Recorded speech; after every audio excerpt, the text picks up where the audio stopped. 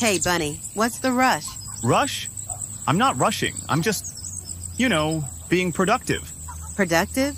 You mean like nibbling on grass at lightning speed? Exactly.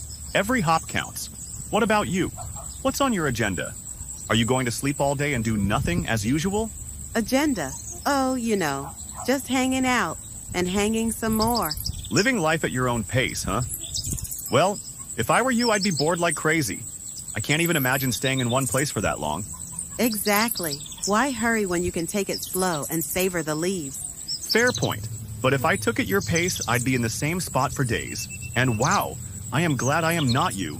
And I'd still be here, waving at you when you finally arrived. Sometimes it's better to sleep and do nothing all day. I like it. All right, I'll keep hopping.